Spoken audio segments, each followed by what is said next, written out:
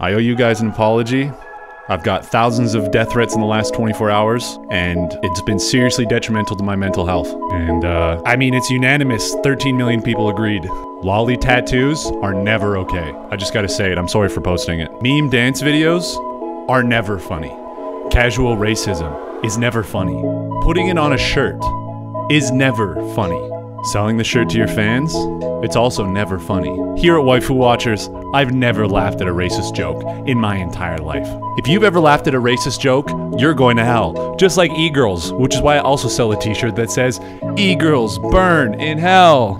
If you stand with Waifu Watchers in the fight against casual racism, buy this t-shirt to support. Buy this t-shirt to support the good fight. It's got everybody's favorite K-On! girls on it.